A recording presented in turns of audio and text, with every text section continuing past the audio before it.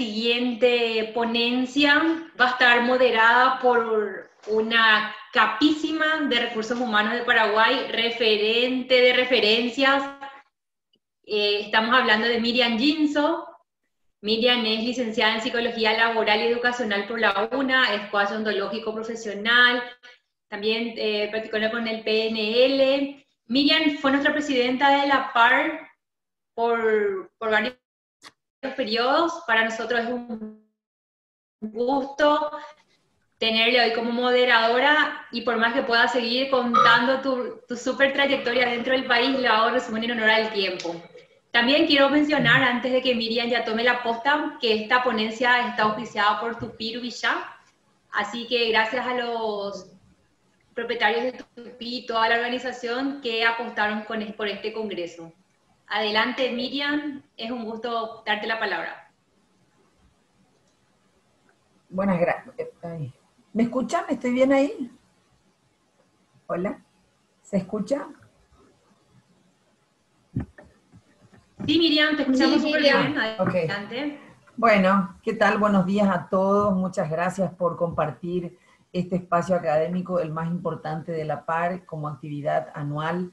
Em, eh, y, en este, y en este compartir con tanta gente que brinda su conocimiento. Yo siempre digo, agradecer por, eh, por la generosidad de compartir el conocimiento. Que a veces pues no siempre queremos ser generosos, pero eh, eh, es una buenísima oportunidad con gente tan calificada de otros países y miradas tan diferentes. Bueno, realmente muy contenta y muy agradecida. Hoy tenemos con nosotros una invitada especial de la República Argentina. Ella es la señora Diana Tuma. buenos días, Diana. Gracias por estar aquí con nosotros. Eh, Diana es una, es una profesional eh, muy especial que estuvo mucho tiempo acá por nuestro país porque formaba parte del equipo de profesores de la Escuela de Posgrado de la, Universidad Americana, así que en algunas oportunidades también tuvimos oportunidad de escucharla y quisimos invitarle para compartir con nosotros eh, esta, esta oportunidad de, de poder este, tratar un tema tan interesante como es el liderazgo de alto rendimiento. ¿Quién no quiere tener un equipo de alto rendimiento? ¿Quién no quiere tener un team así para trabajar, eh, para trabajar dentro de su, de su empresa, ¿verdad? O de su organización. Entonces, Diana es presidente de la Fundación Potencia, es licenciada eh, en Ciencias Políticas y Relaciones Internacionales, tiene una maestría en Administración de Empresas, fue directora de vinculación corporativa en la, unidad, en la unidad siglo XXI, lideró proyectos de cooperación internacional financiados por diferentes organismos internacionales como BID, FOMIN en la Argentina, Paraguay y por la Comisión Europea. Es miembro y participa activamente en temas de liderazgo en diferentes organizaciones. Y eh, lo más interesante de Diana, cuando conversamos y hablamos del, del, eh, marco de su tema, eh, es su experiencia. Le decía ayer a Diana, lo mejor de estas disertaciones con todos nuestros invitados siempre es la previa, ¿verdad? Donde hablamos de qué enfoque le va a dar al, tema. Así que, Diana, bienvenida y muchas, muchas gracias por participar de nuestro quinto Congreso Internacional. Bienvenida, querida. Bueno, muchas gracias, Miriam. Gracias por la invitación, gracias a vos, a Gladys, a todas las autoridades de APAR, a todo el equipo. Y, bueno, gracias también a todos los que están eh, participando y escuchando. Contarles que yo estoy feliz desde las 8 disfrutando de todas las presentaciones, de, aprender con cada uno de ustedes. Y bueno, eh, la verdad que mm, creo que hoy como venimos hablando, las áreas de recursos humanos, de capital humano, son las que más han sufrido dentro de las organizaciones todo este tema de que nos hace vivir el COVID y la pandemia, así que eh, por eso creo que este Congreso tiene el doble mérito y, felicitarlas por haberse animado a hacerlo de esta forma, ¿no? Em, como vos decías, bueno, cuando, cuando me invitaste, Miriam, a participar del Congreso, pensé qué tema eh, les puedo traer hoy que, bueno, que a veces algunas, algunas cosas de las que vamos a hablar son de sentido común, pero no por eso siempre están en práctica. Y mi intención es que con lo que vayamos revisando hoy, cada uno de ustedes, el fin de semana o la semana que viene y demás, cuando, cuando estén este, con sus equipos, puedan pensar, bueno, a ver, esto lo vengo haciendo, si lo vengo haciendo, ¿cómo lo puedo mejorar? O a ver, ¿cómo tengo que potenciar esto? Esa es un poco la intención de esta, de este, de este esta disertación. Voy a compartir la pantalla. A ver. Eh, eh. un segundito. No se ve ahí, ¿no? A ver. Todavía no. Ahí está. Ahí está. ¿Ahí lo ven bien? Súper. Perfecto. Bueno, eh, como les decía, elegí este tema de alto rendimiento pensando eh, en las distintas experiencias que he tenido y sobre todo en una particular, em, que fue liderar un equipo donde tuvimos que crecer a tasas eh, increíbles de venta, pasando este, de crecer a un, de armar un área nueva a crecer a un 600% en lo que fue la venta de capacitación y, bueno, por eso me pareció que hablar desde qué modelo me sirvió y desde qué pude aplicar y demás iba a ser lo más provechoso para hoy. Para arrancar y dar contexto, lo primero fue, o lo que quiero compartir es ver desde dónde parto, ¿no? Como hicieron Luis y Ariana. Mi visión del liderazgo tiene que ver con esto de inspirar, que, hemos venido este, conversando. Inspirar desde todo lo que hacemos. Acá elegí distintos líderes, este, desde la religión, desde eh, Nelson Mandela con todo su activismo político. Ahí también puse a, Malala, que es una activista pakistaní, que fue la primera joven en, recibir el Premio Nobel de la Paz a los 17 años. Este, Angela Merkel, que es una de las estadistas que hoy está siendo más destacada por cómo está llevando la pandemia en su país, y, bueno, distintas personalidades que todos conocemos, ¿no? Pero sí destacar ahí este, dos principalmente. Uno es Marcos Galperin, que es quien eh, es el fundador de Mercado Libre, eh, es una empresa argentina que seguramente la mayoría de ustedes conoce, y esta semana justamente fue destacado porque la Organización Internacional de Great Place to Work, que es eh, la que mide todos los años eh, un estudio, utiliza un estudio para medir justamente el clima laboral y cuáles son las mejores empresas para trabajar, destacó a esta empresa dentro de 10.000 organizaciones y salió en el puesto 8 por todo el trabajo que viene realizando en clima laboral. Entonces digo, bueno, no es fue la única empresa argentina que dentro de este ranking mundial figuró. Y, me pareció para destacarlo hoy porque creo que lo que viene haciendo Mercado Libre es este, lo que muchas eh, corporaciones y empresas hoy tuvieron que empezar a hacer por la pandemia. ¿sí? Esto de entender la flexibilidad, de trabajar por propósito, como veníamos hablando.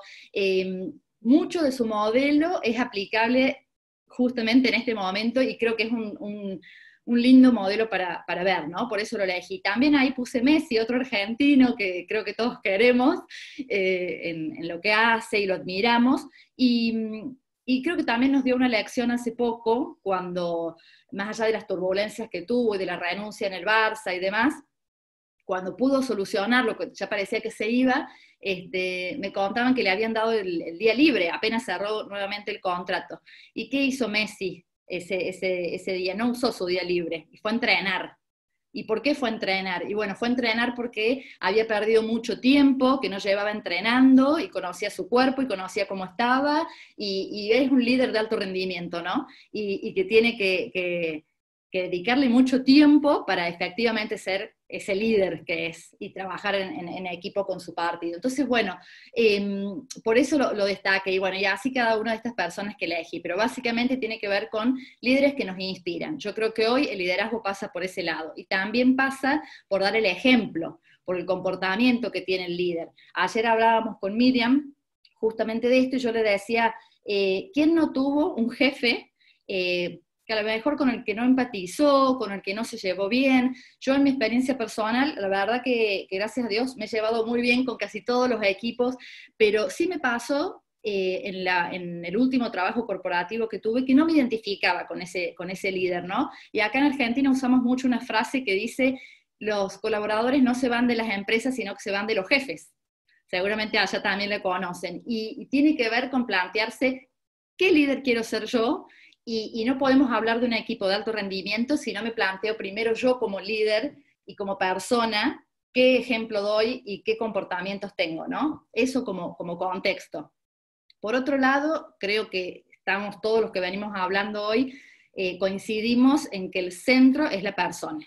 ¿sí? Eh, podemos pensar en los objetivos, podemos pensar en la venta, podemos pensar en los resultados, pero si no comprendemos que la persona es el eje, no vamos a lograr ningún equipo de alto rendimiento.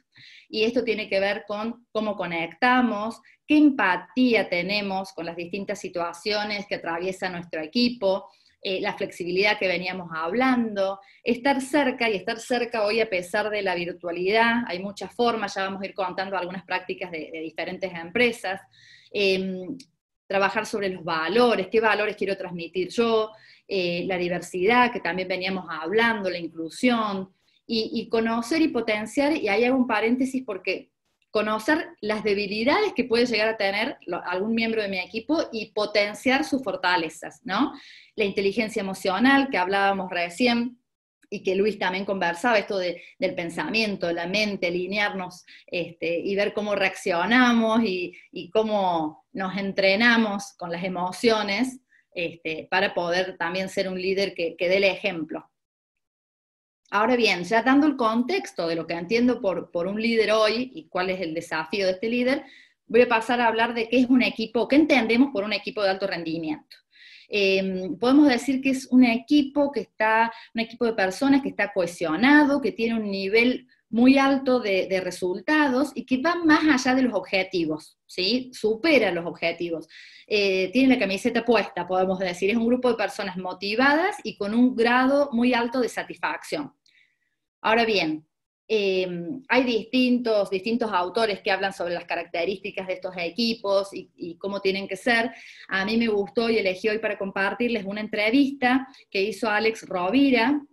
Eh, Alex Rovira, para quienes no lo conocen, es un consultor y empresario eh, español, economista, que se dedica a dar charlas sobre estos temas, y él contaba hace poco que había entrevistado a este, un referente de la NASA, que como todos podemos comprender hoy, los equipos y los astronautas que están en la NASA realmente tienen un, nivel de preparación, de un nivel de tolerancia a la, incertidumbre, a lo, que, a lo inesperado, que realmente, eh, si hablamos de equipos de alto rendimiento, es un muy buen ejemplo, ¿no? Entonces, este astronauta de la NASA le preguntaban qué actitudes tenía que tener las personas de su equipo, qué, qué elegía él. Y bueno, ya hablaba de estas siete, espíritu emprendedor, la proactividad, el carácter optimista, eh, en lo personal, y ahí me identifico mucho, a mí me cuesta mucho trabajar con personas negativas. Eh, y, bueno, les cuento ahí un, ejemplo. Tenía alguien en mi equipo, Martín, que es, muy buena persona, muy buen profesional, pero tremendamente negativo. Entonces me pasaba que cada vez que veníamos de una reunión y que le, le explicábamos algún, algún desafío nuevo y conversábamos, Martín empezaba, no, no estoy de acuerdo, no, entonces era algo que realmente tiraba todo el equipo, todo el equipo para abajo, ya algunos empezaban a quejar, no querían hacer dupla de trabajo con él, a mí también ya me generaba mal humor y emociones desencontradas, hasta que un día dije, vamos a hablar con Martín y le vamos a, vamos a preguntar primero por qué es así, a ver si él registra eso. Y bueno, hablamos con Martín, Martín me dice, sí, me doy cuenta, es algo que me sale, siempre fue así. Le digo, bueno, Martín, vamos a hacer un reto. De ahora más, cada desafío nuevo, cada meta nueva que tengamos que, plantearnos, vos vas a empezar con sí. Te vas a obligar a empezar con sí. Y después del sí va a venir el pero. Sí, pero haría tal cosa. Sí, pero tengamos cuidado. Le digo, y vamos a hacer ese ejercicio. Bueno, lo cuento así, en forma este, informal y graciosa, pero realmente fueron un par de meses donde hicimos este ejercicio, todos lo frenábamos y le marcábamos esta actitud, y realmente lo registró y lo logró cambiar. Y, Martín, después de, cuatro años de trabajo, eh, fue el mejor vendedor de todo el equipo, ¿no? Entonces, digo, realmente hay algunas actitudes que si, si las conversamos con nuestro equipo, los escuchamos, vemos, y se, pueden, se pueden moldear, se pueden trabajar, entonces estar atento a esto. La confianza también ya vamos a hablar de eso, creo que es algo básico, generarle confianza al equipo, a esa persona. Y, también en esta pandemia me ha tocado estar cerca de colegas y de, personas que trabajan muy bien, pero que han tenido jefes que a lo mejor eh, superados por el estrés y por esta situación que estamos viviendo, eh, no ayudaron en, la autoestima de esas personas, ¿no? Personas muy profesionales que están pensando en renunciar, en irse porque se ven este, maltratadas, ninguneadas, o, y esto, replanteándose su, autoestima y su poder de, trabajar cada día. Entonces, no es algo menor, no solamente la confianza en el equipo, sino también que esa persona este, se sienta preparada y que, y que, la potenciemos. El coraje, la tranquilidad ante la incertidumbre, bueno, todas, todas estas, este, voluntad de cooperar, todas estas eh, actitudes son las que nombraba este, este astronauta de la NASA y yo creo que son llevadas a, todo equipo, ¿no?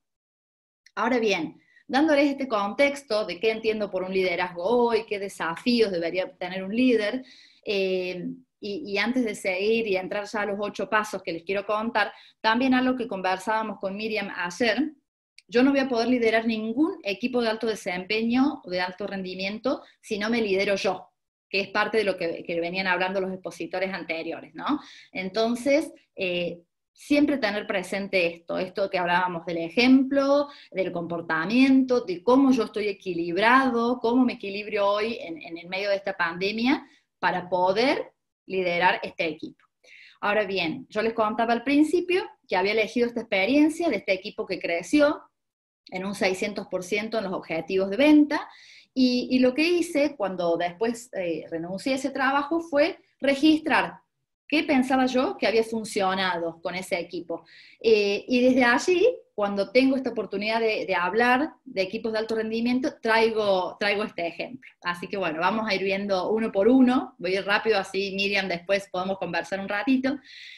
Lo primero que, que se habló también y que es este, algo que, podemos leer siempre cuando estudiamos qué mejorar eh, con un equipo, es tener un objetivo claro, objetivo en común. Si bien parece simple, no es tan simple. Muchas veces los objetivos nos vienen este, bajados por el presidente, por el dueño de la empresa, por un directorio y no son consensuados siempre con el equipo que lo tiene que llevar a cabo. Entonces, qué importante es detenerse, este, hacer encuentros específicos donde decimos, bueno, estos son los objetivos que nos han planteado. A veces este, generan temor, a veces generan descontento porque creemos que no son factibles, sobre todo en el área comercial, pero bueno, plantearnos cómo vamos a hacer y cómo creemos que podemos este, hacer para llegar a esos objetivos. Y es muy importante consensuar con todos ese plan que vamos a trabajar, ¿sí? Que, porque si consensuamos con todos el plan, los estamos comprometiendo a todos y que todos asuman esa responsabilidad.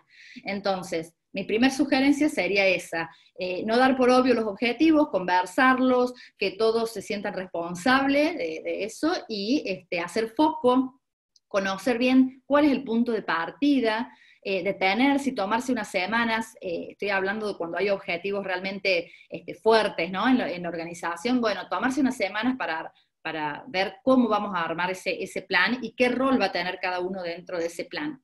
Em, ahí yo nombro, bueno, algo de tasas de conversión, que es un término que se usa mucho en, la parte comercial, que tiene que ver con eh, la cantidad, por ejemplo, de propuestas que yo envío y cuántas cierro, o cuántas consultas recibo y cuántas cierro. Entonces, medir y tener tasas de conversión, o ustedes en el área de gestión humana tener KPIs, indicadores, nos ayudan a este, poder hacer un seguimiento y si algo se está desviando o algo no va como espero, poder hacer este, adaptaciones a ese plan. Por eso es tan necesario. Obviamente definir un presupuesto e identificar aliados dentro de la organización que son clave. Eh, muchas veces, seguramente a alguno de ustedes les ha pasado cuando tienen que presentar un plan, una propuesta o algo, eh, si no se detienen a a hablar y a conversar antes y dar contexto con algunos aliados estratégicos dentro de la empresa, es muy difícil que a lo mejor esa medida se apruebe eh, o que ese plan se lleve a cabo con éxito, ¿no? Eh, en lo personal ese fue un aprendizaje muy grande. Muchas veces estamos acelerados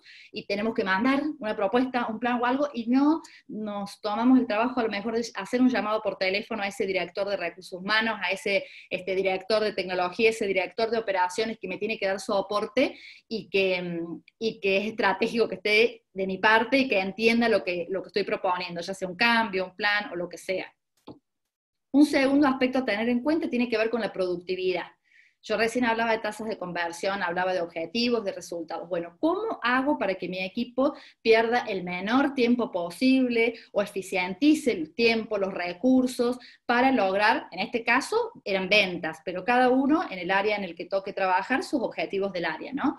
Bueno, es clave el seguimiento, es clave el hábito del reporte, hay muchas organizaciones que lo aplican, otras que no tanto, no hace falta tener grandes plataformas para hacer este, seguimientos y reportes, a veces hasta con un Excel, pero tener el hábito semanalmente de reportar, este, de trabajar, de hacer alguien responsable dentro de mi equipo que lleve, a este, que lidere ese reporte y reportar, no solamente con los miembros de mi equipo, porque es importante que todos vayan viendo cómo vamos, sino reportar hacia arriba, por más que no me lo pidan. Este, pero también fue un aprendizaje que es interesante venderse o vender internamente todo lo que vamos haciendo.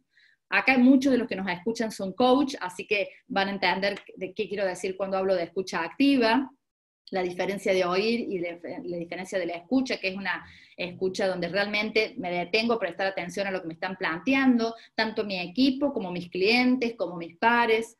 El ciclo de coordinación de acciones también se hace, se habla de esto hace muchos años, todos lo deben conocer, tiene que ver básicamente con revisar cómo hago mis pedidos, cómo negocio el tiempo y cómo va a llegar ese pedido, cómo este, acepto o rechazo un pedido y cómo este, evalúo después que, se, que llegó ese pedido si estoy eh, satisfecho o no. Esto es algo que por lo menos en el caso, en el caso nuestro hay un círculo que, viene, que ustedes lo pueden ver en internet, que es el círculo de coordinación de acciones, lo habíamos impreso y lo teníamos en cada oficina. Y en cada momento que había un proyecto nuevo, lo revisábamos. Y por más que parecía algo obvio, lo repasábamos con todo el equipo, porque siempre había una oportunidad de mejora y algo que se podía este, hacer de otra forma cuando usábamos esa herramienta. Cómo prepararnos para, para las reuniones, hay dos herramientas que usábamos que también son bastante simples. Eh, si voy a hacer una, reunión con alguien que no conozco, aplicar un checklist. ¿Qué es un checklist? Eh, saber todo lo más que puedo de esa persona, dónde estudió, dónde trabajó, em, qué hobbies tiene, que hoy Internet, LinkedIn y otras herramientas nos permiten hacer todo eso y les aseguro que las reuniones donde conozco a mi interlocutor previamente y demás, eh, son mucho más exitosas que las que no. Entonces, es algo, un hábito también a tenerlo en cuenta. Agenda compartida, esa fue otra, otra estrategia que empezamos a utilizar, que fue comprometer a los directores de las empresas de otras áreas en los objetivos de mi equipo. ¿Cómo es esto? Bueno, por ejemplo, decíamos, cada director este, de, distintas áreas va a tener el objetivo de presentarme eh, dos contactos nuevos para que yo pueda vender más en el semestre y no saben el resultado que nos daba el director de tecnología, el director de, de, de operaciones, demás. Cada uno este, nos ayudaba a lograr el objetivo que tenía nuestra área de ventas. ¿sí? Esa sinergia que se produce realmente es muy positiva, porque logramos que toda la organización se ponga este, en la mochila, como decimos, el objetivo de algunas áreas que por ahí, este, bueno, está bueno empatizar y saber qué hace eh, la otra área, ¿no? Y también, que me pasaba mucho, y por ahí ustedes, los que trabajan en empresas más grandes este, o multinacionales, hay alguno que nos esté escuchando, también me va a entender, a veces eh, hay mucho despropósito en este, contactos que se hacen de la empresa. Por ejemplo, yo quería venderle capacitación al Banco Santander, que es un banco muy conocido en la región y muy grande acá en Argentina. Y, bueno, cuando digo, ¿cómo, ¿cómo llego al banco? ¿Cómo llego? veo que Recursos Humanos estaba teniendo reuniones con las autoridades del banco porque este, querían abrir cuenta y que todos los empleados empezaran a cobrar por el Banco Santander. Entonces, ese fue un primer aviso de decir, che, nosotros desde el área comercial y desde marketing estamos tratando de llegar a una empresa, pero nunca se me ocurrió hacer sinergia con recursos humanos, que se reúne semanalmente con un montón de otras empresas por otras negociaciones que tienen que ver. Entonces, a partir de ahí armamos un comité interárea y de decir, bueno, cada vez que alguien visite a una empresa de las grandes, que puede ser un potencial cliente, nos vamos a reunir juntos, marketing, recursos humanos este, y otra área que esté involucrada con eso. Y armamos una agenda de reuniones compartidas. Eso fue algo que nunca se había hecho y que nos dio muchísimos resultados. Entonces, cada uno de ustedes puede pensar dentro de los objetivos que tiene, de los equipos que lidera, qué sinergia puede hacer con otras áreas que hoy no lo esté haciendo, ¿no? Em, un, tercer aspecto a tener en cuenta, la capacitación. Creo que todos los que hoy estamos participando de este congreso lo tenemos este, en claro y sabemos de la importancia de la capacitación. Creo que este, no hay excusas hoy, a pesar de la pandemia, para este, no, no, estar actualizados. Hoy justamente tenemos lluvia de, ofertas, eh, pero no hay excusa, me refiero al tema del presupuesto. Muchas veces escuchamos, no, no hay presupuesto, me pasa hoy con muchos clientes que han recortado presupuesto por las dudas, pero bueno, hay muchas formas de capacitarnos. Eh, por ejemplo, hacer roleplay, con, los miembros del equipo cuando van a tener una reunión este, clave, una reunión importante, eh, pedirle a un miembro del equipo que investigue sobre tal tema y lo comparta con los demás, este, conocer, por supuesto, siempre la competencia, qué mejores prácticas están aplicando, y ahora después vamos a conversar de eso, qué están haciendo las otras áreas de recursos humanos, qué hacen las otras áreas comerciales para sobrevivir en tiempos de pandemia, todo lo que sean mejores prácticas como estamos haciendo hoy es este, clave motivarlo y, y bajarlo a nuestros equipos para que tengan esa conducta y esa práctica, ¿no? La confianza, algo ya mencioné antes, la confianza es algo que, se construye este, día a día y que, que tiene que ver y que implica con mucha coherencia en nuestra vida. Antes yo empecé hablando de los líderes que inspiran, empecé hablando del ejemplo y, y, lo vuelvo a destacar porque realmente creo que es la clave para cualquier equipo. Confianza con mis, este, con mis, con mis miembros del equipo y también de ellos hacia mí y, en general con las distintas personas que integran la organización. Esta frase que puse ahí, pedir perdón y no pedir permiso, es una de las frases mías de cabecera, tiene que ver con la autonomía que recién se hablaba, con cómo delego y cómo logro que mi equipo este, se anime cada vez a ser más autónomo y, y, a ir para adelante sin tener que estar consultando todo, ¿no? Yo siempre, siempre les decía, prefiero que se equivoquen y no que me estén consultando todo. Y creo que realmente eh, eso hace también que los equipos puedan tener mayor rendimiento. Y el respaldo al equipo sobre todo. Eh, yo no puedo generar confianza con los miembros de mi equipo si ante la primera de cambio, porque a lo mejor el presidente de la compañía o el director me hace alguna crítica este, ante un error o algo y yo no respaldo a mi equipo, o si alguno se equivoca y lo mando al frente delante de otra gente. O sea, este, estas cuestiones que tienen que ver con el código, ¿no? Eh, con el código de, cómo nos manejamos. Eh, creo que tiene que ver con los valores también de cómo, cómo nos manejamos. Así que bueno, eso para destacar en cuanto a la confianza. Eh, un quinto punto que quería ver también con ustedes hoy es esta, esta frase que la repetía mucho uno de mis directores y, y yo la hice propia, el diablo está en los detalles. Creo que mm, que de eso se trata, ¿no? Cuando en, cualquier responsabilidad que tengamos, siempre tratar de sorprender y buscar la magia en lo que hacemos.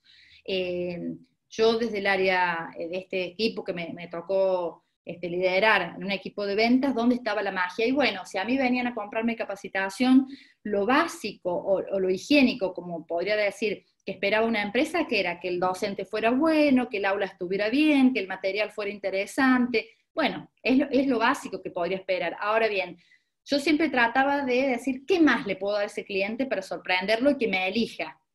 Que me siga eligiendo, que marque una diferencia. Y bueno, puedo sorprenderlo en el café con unas galletas, empezamos a hacer unas galletas personalizadas con la marca de la empresa, este, empezamos a, escuchar más qué, necesitaba ese cliente más allá de la capacitación. Entonces, por ejemplo, eh, nos pasó que los directores de recursos humanos de Coca-Cola o de grandes compañías nos decían, yo necesito vender mi idea dentro de la empresa para que me ayuden y me autoricen la capacitación. Bueno, entonces dijimos, ¿qué te, ¿cómo te puedo ayudar? Si yo te hago un reporte, este, lo, hacíamos con diseño gráfico, con colores, con fotos, ¿te serviría para mostrar lo que haces? Bueno, sí, me sirve, listo. Empezamos a aplicar esa estrategia con todas, con todos los, los clientes de las grandes compañías que necesitaban como vender esta idea. Empezamos a hacer videos, empezamos, bueno, todo un, área de, creatividad destinada a fidelizar clientes, este, y, bueno, creo que cada uno de ustedes puede hacer esto en sus áreas, ¿no?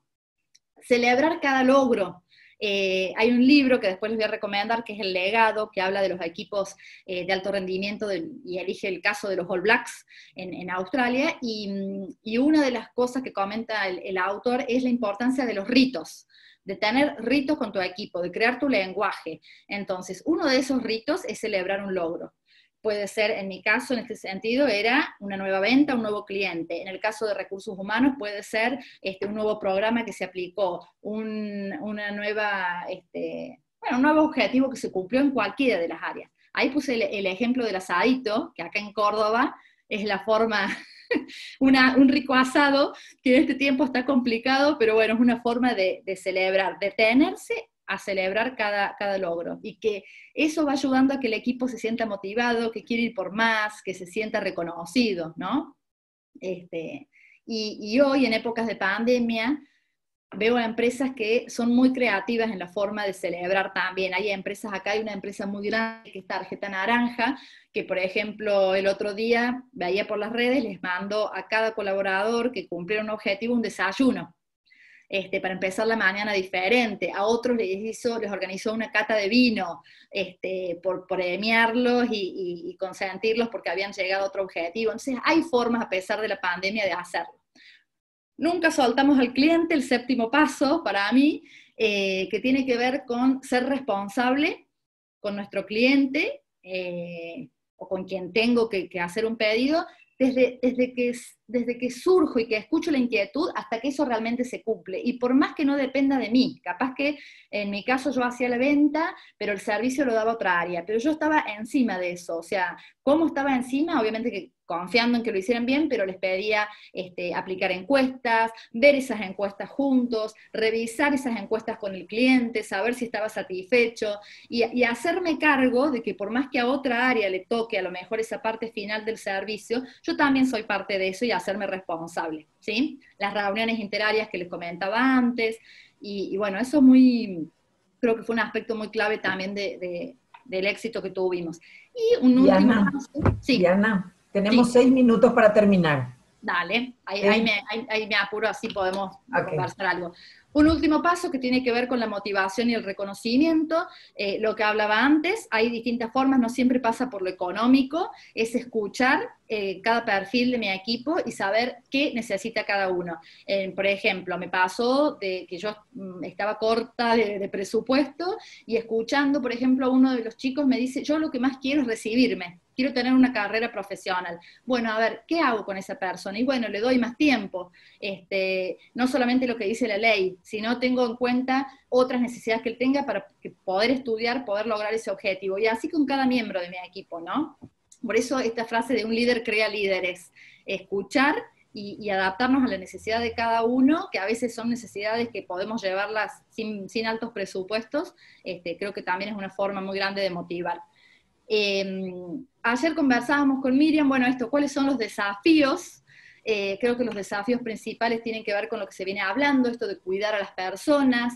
Eh, hay empresas que han este, armado comités de crisis en la pandemia, justamente para, para ver qué, qué, aplicar en estos momentos, apoyar a los líderes, recordar que los líderes son personas, más allá de sus roles, de sus jerarquías, y que como todas personas tienen por detrás familia, necesidades, problemas, vulnerabilidades y cómo apoyarlos, acompañar los procesos de transformación digital, porque esto eh, nos llevó a usar plataformas y algunos recursos que no todos pueden manejar fácilmente, entonces cómo los capacito en eso, evitar los extremos. A ver, ahora estamos hablando todos del home office. Bueno, ¿estamos preparados para hacer home office todos los días? Y no, yo no, estoy segura de que el home office eh, venga a, quedarse así en, en formatos este, creo que los mix van a, van a venir, ¿no? Ni muy, muy, ni tan, tan. Esto de la, diversidad que hablábamos recién, visibilizar personas que inspiren dentro de la compañía historias verdaderas, gente que, que la ha pasado realmente muy mal y que a pesar de eso, este, que ha perdido familiares o que ha tenido situaciones que, muy difíciles para atravesar y que a pesar de eso sigue este, rindiendo y con ganas de trabajar y visibilizar esos casos. Y este, bueno, este es un pequeño regalo, a mí me gusta en cada charla sugerirles algunos libros, esto les va a quedar, algunos son más clásicos, otros son más nuevos, así que eso se los dejo, y regalarles esta, esta frase. El desafío siempre mejorar, aun si eres el mejor y especialmente si eres el mejor. Bueno, muy bien, gracias Diana, realmente eh, eh, muy lindo porque eh, la necesidad obliga, ¿verdad? O sea, todos, todos quisiéramos o queremos desarrollar un equipo de alto rendimiento, pero este tiempo me parece que sí o sí tenemos que ser de alto rendimiento porque estamos todos embarcados en lo que es la remontada, la remontada económica de las empresas, eh, sobre todo de aquellas que han cerrado o que estuvieron en baja durante la pandemia, que, nos va a acompañar un buen tiempo. Y me quedé con algunas ideas, no tenemos, no tenemos preguntas aquí en nuestro, en nuestro chat, pero a mí me, gustaría solamente hacerte una, pregunta, ¿verdad? Em, este tema de, de, poder compartir con otros equipos, me gustó mucho eso. ¿verdad? De poder tener eh, esa sinergia con otros equipos para que tu equipo sea, eh, desempeñe o logre un alto rendimiento. Y eso es un desafío porque a veces eh, los pares, los gerentes pueden ser muy competitivos entre sí. Son buenos gerenciando hacia abajo, pero malos gerenciando así, en línea, con el par. ¿verdad? Entonces, este celo de que vos te luzcas mucho con tu equipo, por más que estés llegando a objetivos organizacional es absolutamente necesario para todos. Eh, te voy a ayudar, pero no tanto. Eh, te voy a permitir que logres tus objetivos, pero bueno, pero no tanto. Espera, espera que yo también tengo los míos, ¿verdad? Entonces, poder desarrollar eh, sinergia entre, entre, los, entre, los, entre las propias direcciones y las propias gerencias y, sus, y sus equipos absolutamente tienen resultados extraordinarios. He tenido la oportunidad, gracias a Dios, ¿verdad?, de ver eso eh, y, empieza por la cabeza. Empieza porque la cabeza no haga competitivo, ¿verdad? Las, gerencias y los departamentos, porque cuando es competitivo, a veces eh, uno se apasiona mucho por su propio trabajo y, no quiere eh, dar ningún punto al otro equipo, ¿verdad? Aunque el beneficio sea para todos. Quizás ese, esa, ese desafío es el más fuerte, ¿verdad? Lograr la, la sinergia. Sí, Sí, sí, comparto 100%. Eh, es como vos decís, a ver, uno cuando está en la parte corporativa muchas veces se encuentra con, personas con las que por ahí no tiene buena onda y, el celo y todo eso es real y pasa, porque si no, no, eh, no, lo podemos negar, pero, pero también hay gente que es muy colaborativa y apoyarnos en esos stakeholders, como se dice, que, nos pueden este, ayudar. Acá, por ejemplo, em, me contaba una amiga eh, que trabaja en otra empresa que habían, eh, una de las iniciativas que se hizo en la pandemia fue cambio de roles.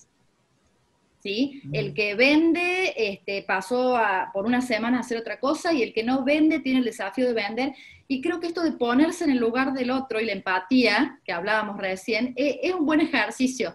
Y, hacerlo ahora, tal vez en la pandemia, nos puede ayudar a, la cohesión, a que como organización nos conozcamos más y a que todos, este, al hacer por ahí la tarea del otro y demás, este, aprendamos, también seamos más solidarios y, y, nos ayude como organización a lograr los resultados, ¿no? Sobre todo en áreas que han estado muy golpeadas en la pandemia.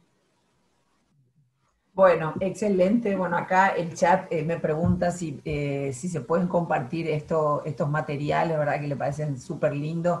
No tenemos más tiempo porque nos esperan eh, nuestros otros panelistas, pero sí contarles a todos que sí, que estos materiales con la autorización de Diana se podrán compartir y también decirles que en días más todas estas conferencias magistrales con nuestros invitados de lujo van a estar en nuestro canal de la de la par. Así que bueno, eh, avisamos cuando estén todas las grabaciones también ahí. Diana, muchas gracias por compartir con nosotros, gracias por tu disposición de siempre y por la generosidad de compartir el conocimiento. Gracias, Miriam. Gracias a todos. Eh, por supuesto que se puede compartir. Ahí también tienen mis datos. Por ahí hay muchas cosas que, bueno, uno no alcanza a contar, pero, pero para el que necesite este, algunos otros ejemplos de, que lo que se está haciendo en Argentina este, con, algunas empresas, con todo gusto, eh, para compartirles material, presentarles gente o lo que necesiten. Aunque entiendo que Paraguay ha sabido manejar mucho mejor que nosotros el tema de la pandemia, pero bueno, a disposición para lo que necesiten y mejores prácticas para seguir conociendo. Gracias, Diana.